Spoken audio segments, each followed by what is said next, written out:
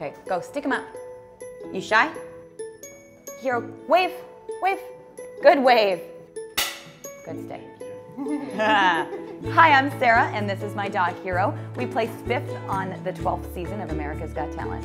Life after being on AGT has been absolutely amazing. We've gotten some incredible opportunities that we would not have had if it wasn't for the show. We've got to headline a show in Reno, and we've just been doing a lot and a lot of training. Hero, how are you? Wow,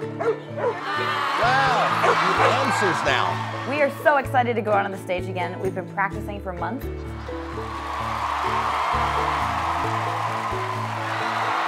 The crowd was loving it, and Hero had a great time.